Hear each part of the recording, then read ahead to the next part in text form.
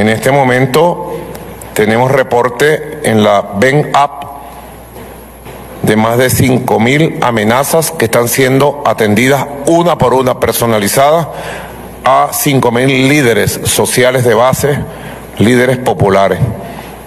Hasta la última la vamos a atender. Si hemos podido atender 5 millones de reportes en temas de agua, salud, electricidad, ayudas humanitarias, 5 mil reportes de seguridad en el ataque fascista y de criminales a los líderes de base, uno por uno lo vamos a despejar, uno por uno.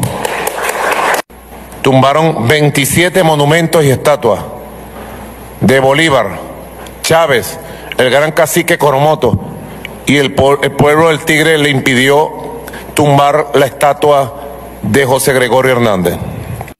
Pero nuevas emboscadas, y yo quiero denunciar una nueva emboscada que se pretende mañana sábado. Lo pensé muy bien, porque pudiéramos estar develando una fuente de información que venimos trabajando de grupos de delincuentes de los comanditos. Pero estoy obligado a hacer esta denuncia.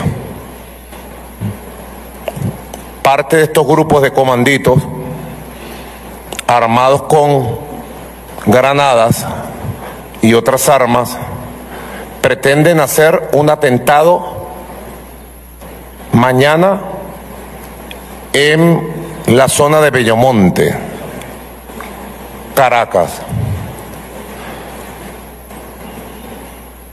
Entre ellos, traídos desde el Zulia, parte de estos delincuentes terroristas de los comanditos del Zulia, fueron responsables, ministro Ceballos, de ataques a las policías de acá, de la Plaza Oliar y la Avenida San Martín, de Petare, trajeron de allá, de afuera,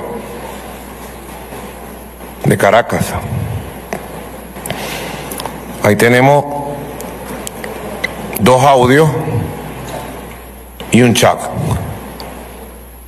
He dado las órdenes precisas para que las fuerzas de inteligencia, contrainteligencia, seguridad y policía protejan la Gran Caracas y estas zonas que están bajo amenaza. Ya estos delincuentes están siendo buscados. Yo pensé muy bien porque se está develando, pero tengo que alertar a la comunidad.